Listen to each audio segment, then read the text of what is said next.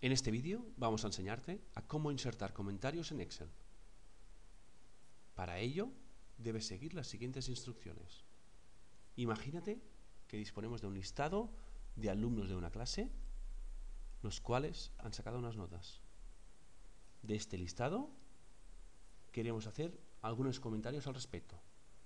Por ejemplo, el alumno número 6, que ha sacado un 4, ha dicho que quiere revisar el examen. Para ello, vamos a anotarnos con un comentario esta nota. Debes seleccionar la celda, pulsar el botón derecho de tu ratón y elegir la opción Insertar comentario. Excel te despliega un cuadro de texto en el cual puedes insertar el comentario que quieras. Por ejemplo,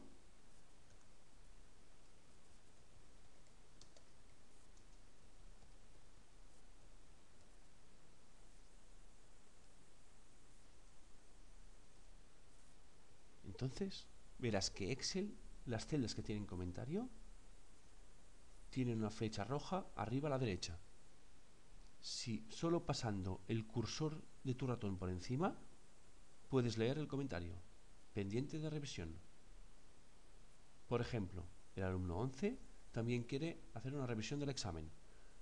Para poner el comentario, seleccionamos la celda donde queremos poner el comentario, pulsamos el botón derecho de nuestro ratón y elegimos la opción Insertar comentario.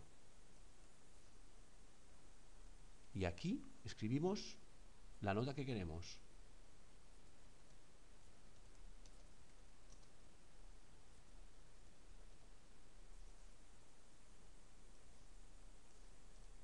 Cada vez que pasemos por encima de la celda, vamos a poder leer el comentario que hemos escrito.